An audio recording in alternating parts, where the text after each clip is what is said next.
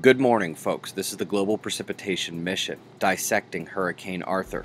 It is available for download from the Goddard Scientific Visualization Studio, along with this, the latest from Aquarius, mapping the global soil moisture.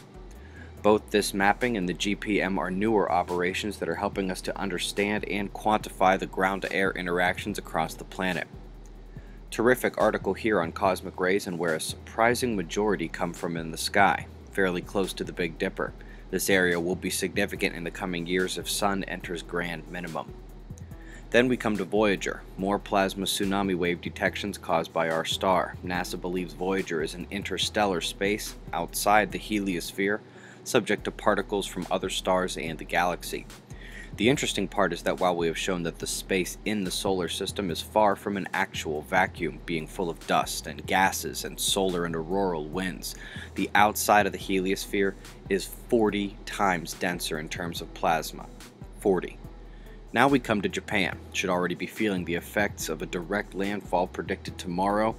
Super typhoon back down to a regular typhoon, but we need to hope for more weakening. A deadly earthquake struck Mexico yesterday, killing at least three people, damaging schools and dozens of homes.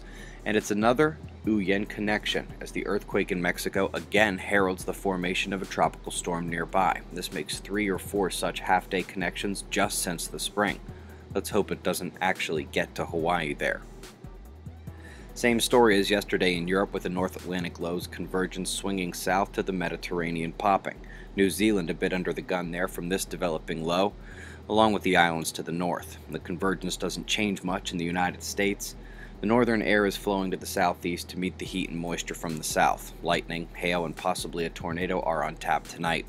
The sunspots are, well, dubious.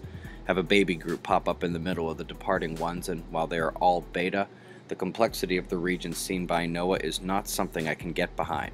I see magnetics separating. The deltas don't look so hot, they may just wait until they turn to fire. Meanwhile, we have a couple new groups cresting into view here as well. Again, we see both positive and negative playing a role, but we need another day or so to get a good view of exactly what's happening down south there. Dubiously, we still have had no flaring and it appears to be getting worse. Mars, Mercury, and Earth still magnetically connected together there, with Venus still connected to the backside, denoted by its dotted outside line rather than a solid one. Solar winds still very weak, but showing a bit of density this morning to create those tiny dings to the electron flux. Incoming coronal hole took control of the Earth influencing magnetism yesterday, switching us from positive to negative. Luckily, its solar wind stream may sail south of our planet. Got some shots of our star to close. Eyes open. No fear at 6:25 a.m. Eastern Time and that's the news. Be safe everyone.